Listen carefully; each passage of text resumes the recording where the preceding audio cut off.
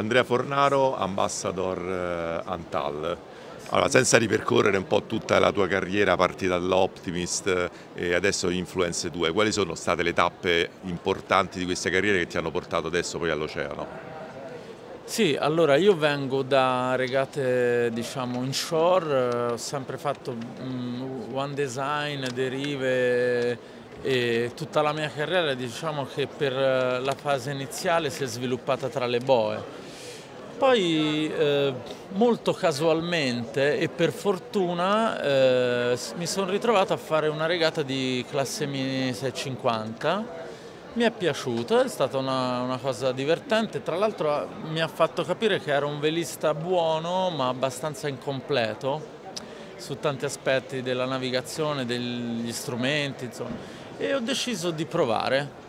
Ho comprato un mini, ho fatto la mia prima mini transat con una barca serie, poi mi è piaciuto, ho costruito una barca prototipo, ho fatto la seconda mini e da lì ormai diciamo che la, la, conoscenza di quel mondo era abbastanza avanzata, quindi ho deciso un po' di rimanerci e, e il normale sviluppo di questo eh, percorso è poi Class 40. Senti, siamo. tantissime regate, la, quella che tu ricordi più difficile? Allora, la, la più difficile, diciamo quella che mi ha impegnato di più ed è stata anche più soddisfacente è stata la Jacques Vabre del, dello scorso anno, è stata una regata diciamo, dove abbiamo spinto veramente tanto a fondo la barca, è arrivata un po' acciaccata in fondo, ha un po' sofferto però l'abbiamo chiusa.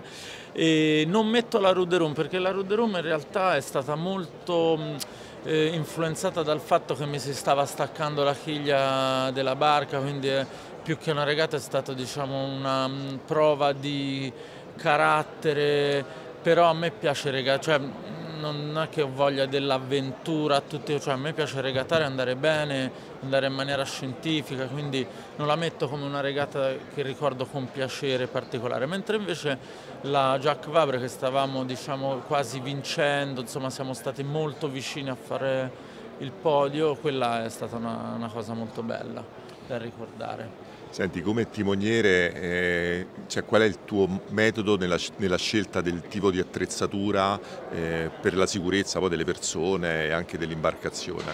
Certo. No, allora, eh, noi eh, sottoponiamo l'attrezzatura a uno stress massimo, quindi diciamo che la prima caratteristica è l'affidabilità.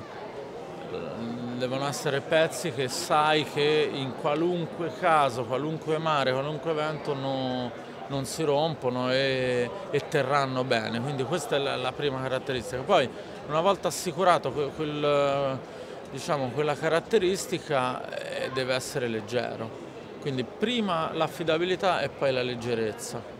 Senti, una domanda che poi incuriosisce me e che faccio un pochino a tutti, cioè se un, un ragazzo, cioè un giovane vuole intraprendere diciamo, una carriera eh, venendo ovviamente dalla, dalla vela diciamo, agonistica giovanile per arrivare poi alle grandi manifestazioni in oceano, che, che cosa gli diresti? Allora, ehm, premesso che diciamo, la, a volte la vita di un uomo è anche caratterizzata da colpi di fortuna, incroci diciamo, fortuiti che poi ti cambiano un po' il futuro. È chiaro che se un ragazzo vuole eh, diciamo, entrare in questo mondo del, dell'ocean, a mio avviso deve prima consolidare una, una base tecnica solida, cioè che, che deve saper mandare una barca veloce e anche equilibrare una barca nella maniera corretta. Deve essere capace di avere nelle mani la conoscenza di trimmare una barca e, e renderla anche con vento forte, con brutto mare, renderla fluida e, e veloce. Una volta che ha imparato quello, il, eh, diciamo, la base offshore, quella più economica, più semplice, più accessibile è il classe mini adesso, quindi fai un mini anche vecchiotto, fai un milione di miglia, inizi a capire i fenomeni atmosferici, il meteo, insomma tutta una serie di conoscenze che devi assolutamente ampliare. E poi devi essere una persona che piano piano nel corso del tempo fa un'evoluzione anche comunicativa per accedere a, agli sponsor che sono la linfa vitale di questo sport perché diciamoci la verità, senza Lilleri non si lallera, quindi se non hai la base economica questa, questo sport non lo fai.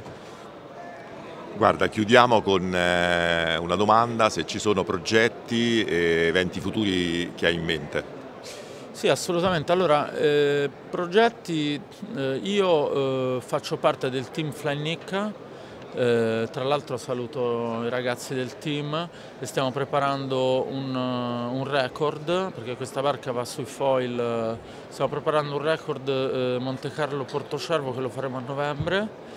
Questo diciamo, è, è, la roba un po' più estrema che sto preparando. Per quanto riguarda il Class 40 abbiamo due grosse regate, una è la Mad Max che parte tra una settimana esatta. E poi c'è la Middle Sea Race, due belle regate in Mediterraneo eh, la barca è in uno stato di forma mai avuto prima, quindi sono molto contento. Ho fatto anche della grossa sperimentazione sulle vele insieme a North Sail, abbiamo fatto delle vele nuove insomma, che sarà molto interessante provare. E poi diciamo che tutto il lavoro invernale, il prossimo anno, eccetera, è volto eh, ha come diciamo nel mirino la Jack Vabre del prossimo anno e poi la Road Room dell'anno dopo. Quindi questi sono diciamo, i due grossi goal di carriera per quanto mi riguarda. Una volta fatta la Road Room andiamo a planare piano piano verso qualcosa di un pochino più rilassato perché insomma poi io fatto veramente tante miglia nella mia vita, insomma vorrei anche godermi un po' di famiglia, un po' di wingfoil eh, a casa, è, un bravo, è a bel, Fiumicino, è un bel eh, faticante, mica si può sempre andare vecchio all'altra parte del mondo. Assolutamente sì, sì. sì. Senti Andrea ti ringrazio e niente, grazie. Eh, grazie a voi di Seili, sempre molto attenti. Salutiamo, salutiamo Fabio Clivicchi. Ciao Fabio, fai tante interviste a questi piccoli velisti che poi cresceranno, no? Sono bravi.